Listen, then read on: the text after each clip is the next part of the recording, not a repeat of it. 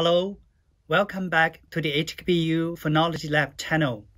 In this episode, we will talk about how to measure the duration of segments using Praat scripts.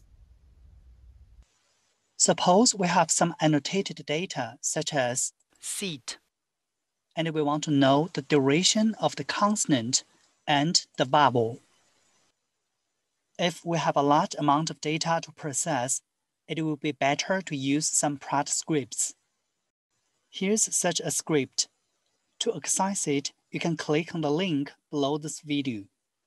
For easy processing, we can put the Praat script in the same folder as the sound files and the text grids.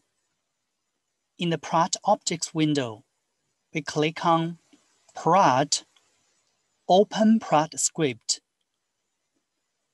Select this one to open. Click on Run.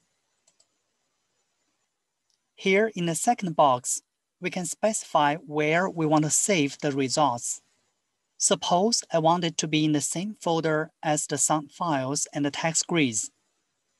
In Windows, we can copy the path to the folder and paste it here. Don't forget the final backslash. For Mac users, please click on the link below this video for how to obtain the path to a folder. Click on OK. Here in the folder, a new text file has been created.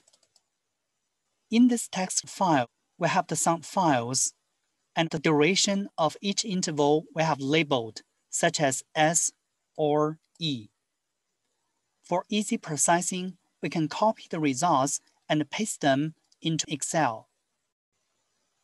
Now, the results are nicely put into different columns.